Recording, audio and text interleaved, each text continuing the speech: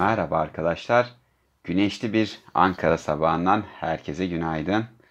Ee, bu videomuzda sizlerle iPhone'un ayarları hakkından bahsedeceğiz.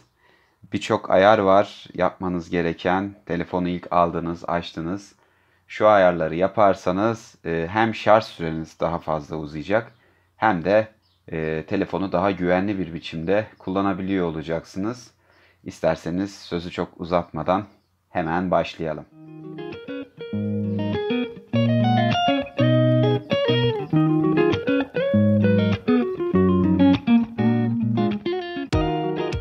Ayarlar konusunda ilk inceleyeceğimiz yer konum sensörleri. E, konum ayarları gizlilikte e, konum servisleri açık kapalı şeklinde ayarlanabiliyor. E, genelde iPhone kullanırken bu konum servislerini hep açık tutarak işlem yapmaya çalışıyor. E, Samsung'da yukarıdan aşağı indirip konum servislerini kapatıp genelde o şekilde kullanıyorduk Android telefonlarda ancak e, iPhone'larda genelde bu ayar açık olarak kalmasına telefon kendini zorluyor. E, örneğin bir e, Google Maps'i açtınız bir yere gittiniz. E, sonra hani kapatmak için ta buralara ayarlar, gizlilik, konum servislerini kapat birçok kişi yapmıyor. Bu nedenle genellikle konum servisleri açık kalıyor. E, bu da konum servislerini kullanan uygulamaların e, daha fazla e, konum servislerine ulaşmasını ve bu nedenle şarjınızı tüketmesine yol açıyor. E, buradaki ince ayarları nasıl yapabiliriz? Şimdi sizlere onu göstereceğim. E, ayarlara girdiniz, gizliliğe girdiniz, konum servislerine tıkladınız. Burada bir sürü her uygulama için konum servislerine ulaşımla ilgili ayarlar var. Ee, buradan ilk etapta yapacağınız şey sistem servislerine gelip burada kullanmadıklarınızı kapatmanız olacaktır. Mesela acil aramalar yapıyor musunuz, yapmıyor musunuz? Ee, Apple Pay satıcı kimliği mesela şu an Apple Pay ülkemizde geçerli değil. Bunu kapatabilirsiniz. Ee, device Management kapatabilirsiniz. Hareket ayarlama mesafe bunu da kapatabilirsiniz.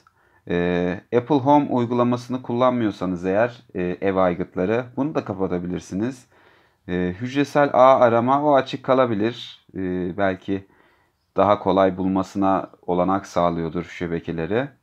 iPhone'umu bulu kullanmanızı öneririm. Telefonunuzu kaybederseniz ya da telefonunuz çalınırsa nerede olduğunu takip etmek için çok önemli bir özellik. Konum tabanlı öneriler almak istemiyorsanız bunu kapatabilirsiniz. Konum tabanlı uyarılar almak istemiyorsanız bunu kapatabilirsiniz. Ben bunları genelde kullanmıyorum. Konumunu paylaş kısmını kapatabilirsiniz. Yani telefonun konumunu alarak sistem servisleri konumunuzu paylaşsın mı seçeneği. E, pusula ayarlama pusulayı açtığımda yapsın. Bunları kapatıyorum. Saat dilimi ayarlama e, genelde Türkiye'de yaşıyorum ve bir, hiçbir e, yurt dışına gitmediğim için saat dilimi ayarlama benim için gereksiz. Onu da kapatıyorum. Sistem özelleştirmeyi de kapatıyorum. Gerekirse sorar zaten. Ee, ürün iyileştirme iPhone analizinde konumu kullansın mı? Buna da gerek yok. Ben hiçbir ürün iyileştirme ile ilgili de bir şeylere katılıp e, telefonun boş yere data çekmesini, data harcamasını istemiyorum. O yüzden hepsini kapatıyorum. E, durum çubuğu simgesinde mutlaka açın. Çünkü e, konum bağlanmaya çalıştığı zaman durum çubuğu simgesinde üstteki şu konum işareti netleştirirse göstereyim. İçi dolu ok oluyor. Şu an içi boş. Yani içi boşsa konumunuz açık ancak herhangi bir e, uygulama konum uygulamasını kullanmıyor demek oluyor. Yani şu an konum servisleri istenirse ulaşılabilir ama e, hiçbir uygulama mesela bak şu an bir uygulama bende kullanmaya çalıştı. Hava durumu uygulaması olabilir muhtemelen. Konum servislerinin içi dolu oldu. Şu an her, telefonumda kurulu herhangi bir uygulama konum servisleri üzerinden işlem yaptı ve sonlandırdı. Bunun gibi buradaki birçok şey açık olduğu zaman telefon sürekli uydulara ulaşıp buradan e, bilgi edinmeye çalışıyor. Bu da şarjınızın e, normalden daha hızlı tükenmesine yol açıyor.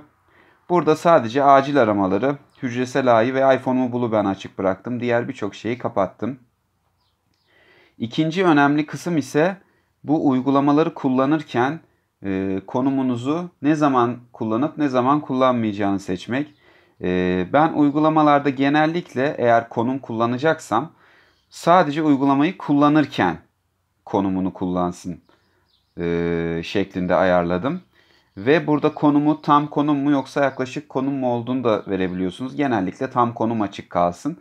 E, şimdi konum erişimine izin ver. Vereyim mi vermeyeyim mi yoksa sorayım mı uygulamayı kullanırken mi diye.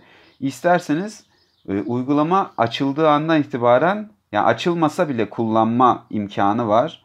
Ben onu devre dışı kapattım. Mesela burada Google Maps'te ekstra bir seçenek daha çıkmış. Her zaman mı izin vereyim? Yoksa uygulama veya araç takımı kullanılırken mi izin vereyim? Ya da uygulamayı kullanırken mi izin vereyim? Ben ikincisini seçtim. Uygulama veya araç takımı kullanırken konuma erişsin diye. Ee, daha verimli çalışıyor. Her zamanı seçmenize bence gerek yok. Ee, yani mesela her zaman ne zaman seçili olmalıdır? Örneğin WhatsApp'tan bir arkadaşınıza konum attınız, hareketli konum ve sizi takip etmenizi istiyorsunuz.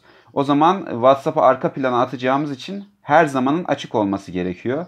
Ee, ancak böyle bir şey de WhatsApp'ta yapmıyorsanız e, konumunuzu yani sürekli takip etmesini WhatsApp kapalı iken bile konumunuzun takip edilmesini istemiyorsanız sadece uygulamayı kullanırken işaretleyebilirsiniz ya da bir dahaki bir daha iki sefere sor diyerek her seferinde konuma ulaşmaya çalışırken size sormasını da isteyebilirsiniz ama o pek kullanışlı olmuyor. Bu nedenle uygulamayı kullanırken işaretlemeniz WhatsApp'ta mantıklı.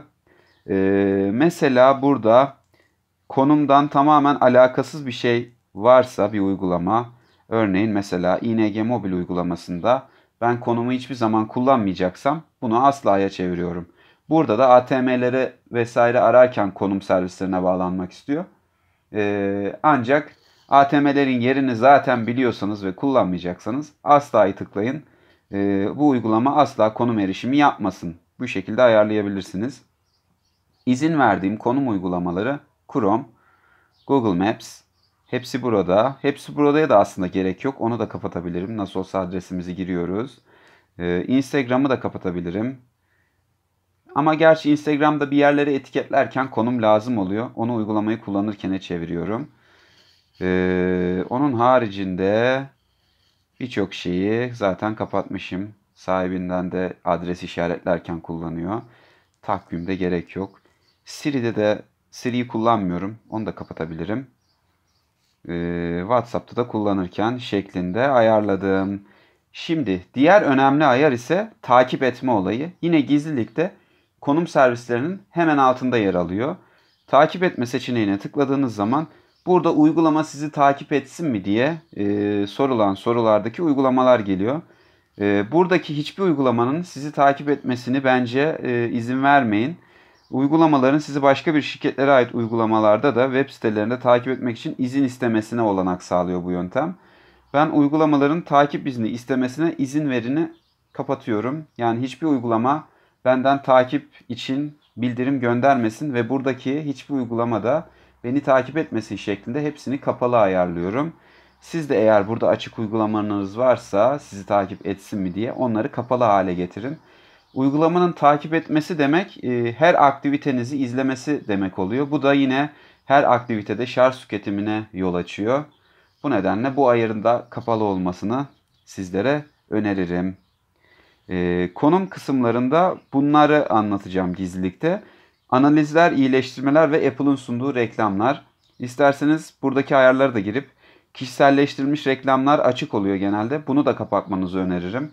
Zaten e, telefonunuzda AdSense uygulamalarını bloklayan tweakler varsa jailbreak'li kullanıyorsanız zaten reklamları engelliyorsunuz.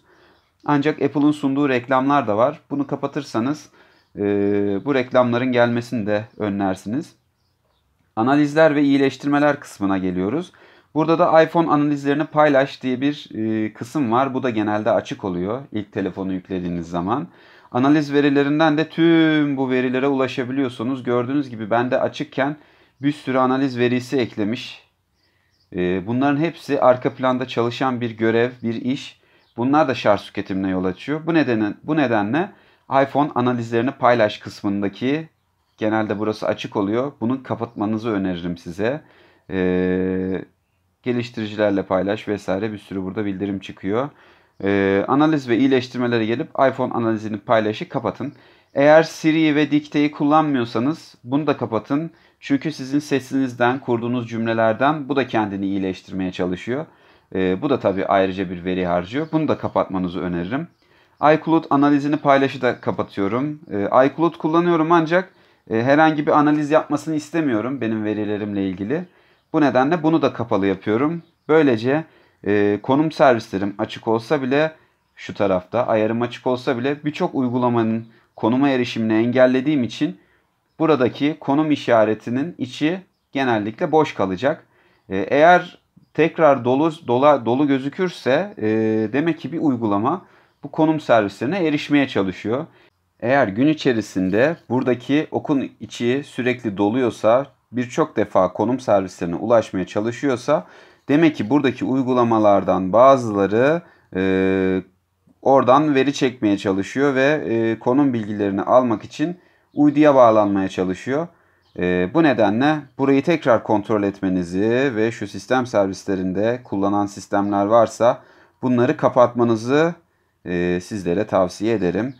Bu şekilde e, telefonun konum kullanımı ile ilgili birçok özelliği kısıtladığınız için şarjınız daha uzun gidecek ve telefon gereksiz yere veri e, harcı arka planda veri oluşturmaya çalışmayacak. E, gizlilik ayarlarında konum servisleri ve takip servisleri bu şekildeydi.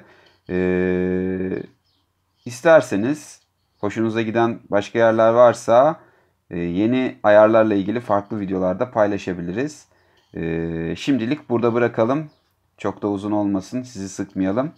Farklı diğer ayarları da sonraki videolarda sizlerle paylaşalım. Teşekkür ediyorum. Kendinize iyi bakın.